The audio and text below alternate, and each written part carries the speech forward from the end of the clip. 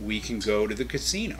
Now, when we go to a casino with one of our buses, we can enroll you in their um, in their promo package, and as long as you spend the minimum five hours at the casino, you're going to get a give back from the casino.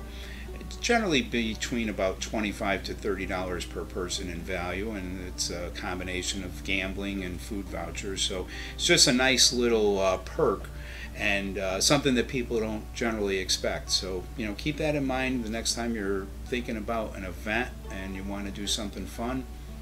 Let us take you out to the casino on one of our buses and have a great time and uh, and get some free stuff back from the casino at the same time. Let us do the driving, you do the drinking, and uh, and everybody's having a good time.